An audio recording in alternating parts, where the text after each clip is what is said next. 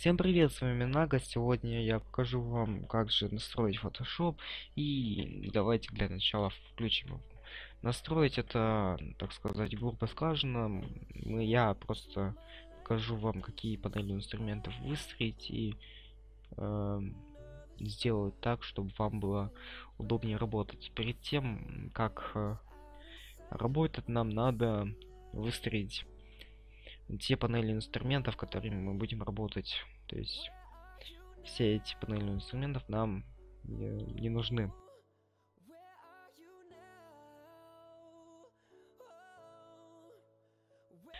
Вот.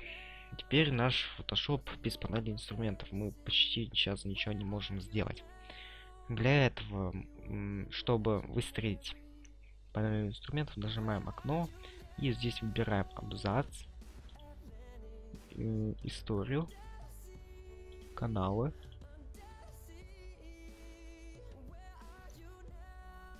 Операции. Свои. И, наверное, все. Да, все. Итак, мы выстроили те э, панели инструментов, которые нам понадобятся. Потом идем редактирование, установки, основные. Э, основные. Здесь убираем галочку экспорт обмен, буфер обменный, чтобы э, наш Photoshop работал э, быстрее и ваш э, компьютер э, меньше лагал. Но если вы экспортируете свои из Photoshop в другие программы, то убираем эту галочку интерфейс. А, мне нравится э, средняя так сказать кнопочка или самая темная нет давайте самая темная здесь мы выбираем просто оттенок нашего нашего фотошопа то есть интерфейс оттенок интерфейса так сказать. Эм, производительность. Здесь э, в использовании памяти ставим 70% от всего объема э, рабочие диски.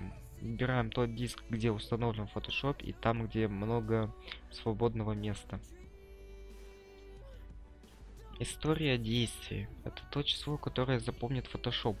Рекомендую его ставить от 80 до 100, чтобы вы могли спокойно э, перейти на чтобы вы могли спокойно перейти на 100 чтобы вы могли спокойно перейти на 100 шагов назад. Единица измерения линейки. В категории линейки ставим э, пикселы, чтобы нам при работе было удобнее ориентироваться по фотографии. А на этом все. А в следующем уроке, я надеюсь, покажу вам что-то интересное про Photoshop. А с вами был Нага. Всем пока.